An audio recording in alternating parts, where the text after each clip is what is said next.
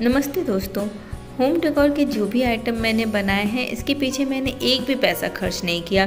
घर में रखे हुए चीज़ों से ही मैंने इन्हें सजाया है।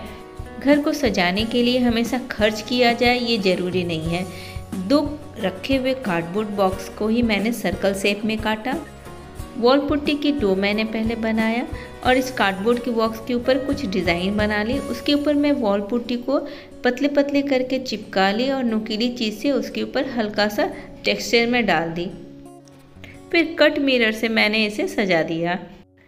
बहुत ही आसानी से एक वॉल डेकोर आइटम बनकर तैयार हो गया। यदि आपको अच्छा लग रहा हो तो प्लीज़ मेरे चैनल को सब्सक्राइब कर लीजिएगा। मैं इसे अलग अलग तरीके से सजा के आपको दिखा रही हूँ। कौन सा ज़्यादा अच्छा लगा, मुझे कमेंट बॉक्स में ज़रूर बताइएगा। सेकेंड डी के लिए भी मैंने वॉल पुट्टी का ही यूज़ किया है। वॉल पुट्टी को दो अलग अलग शेप में बना के मैं सूखने के लिए छोड़ दी थी।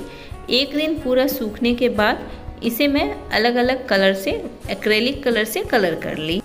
थोड़ा और सुंदर बनाने के लिए कहीं कहीं पे इसमें मैंने कट मिरर चिपका दिया, जिससे ये और सुंदर लगने लगा।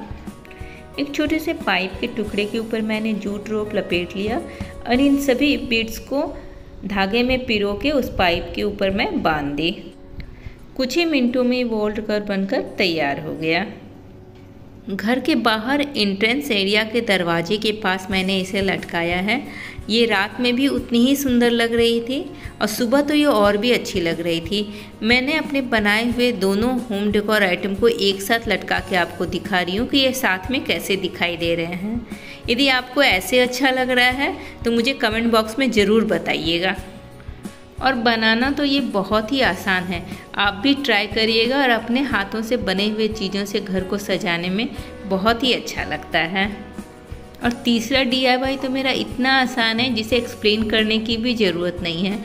बस बॉटल के ऊपर मैंने उसी वॉल पुट्टी के छोटे छोटे गोल गोल सर्कल बना के फेबिकॉल से चिपका दिया। उसे मैंने फेबिक्रिल कलर से कलर कर दिया है। सूखने के बाद उसके ऊपर मैं मिरर लगा दी।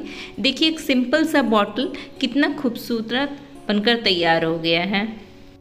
आपको यदि मेरा ये सब आइडिया अच्छा लगा तो प्लीज़ मेरे चैनल को सब्सक्राइब कर लीजिएगा लाइक करिएगा और कमेंट करके ज़रूर बताइएगा कि आपको ये सारी आइटम कैसी लगी। Thank you